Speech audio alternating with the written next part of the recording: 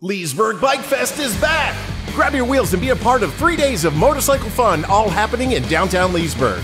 The party starts Friday, April 28th through Sunday, April 30th, with free concert performances by Buckcherry, Warrant, and Way Jennings. Experience over 10 city blocks filled with motorcycles, live bands, stunt shows, delicious food and drinks, and lots of merchandise. Join the fun. Three day Bike Fest is back. It's Leesburg Bike Fest.